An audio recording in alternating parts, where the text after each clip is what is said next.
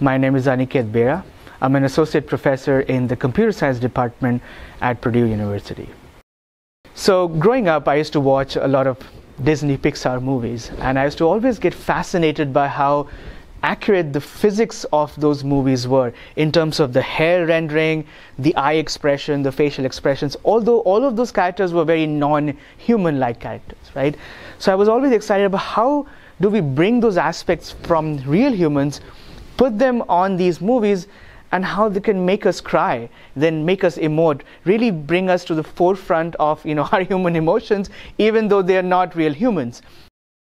And that's why I started to connect these two worlds AI, machine learning, robotics, and then human behavior, human understanding, human psychology. So, the goal of our research, especially in the Ideas Lab, is to understand and model human behavior, human emotions, human psychology, and human intentions. So, all of this we as humans do uh, subconsciously when we are meeting new people, we're meeting our friends, meeting our family.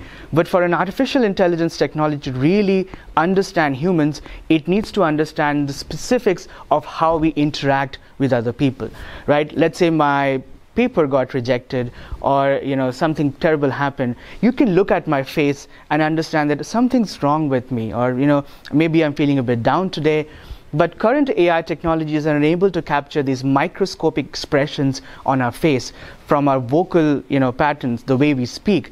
We are building these technologies to combine aspects of different modalities of human expression, be it the voice, be it my microscopic facial expressions, be it my hand gestures, and the way we walk, the way we talk, uh, what our emotions are, what our motions are, combining all of that information from a variety of different cultures, um, you know, be it India, China, the US, Europe, uh, different people from different backgrounds have different upbringings, different ways to express things.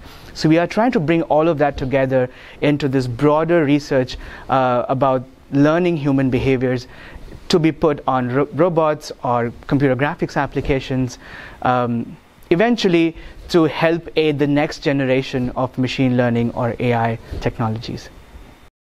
So the Ideas Lab is an interdisciplinary research lab which uh, combines artificial intelligence technologies, machine learning with computer graphics and robotics. So we look at human behavior at the core of our research. Can these technologies understand human behavior so as to be able to help us in the near future, be it with better human robot interaction methods, better computer graphics methods for the next uh, you know, Hollywood movie, or better aid for mental health or therapy related applications.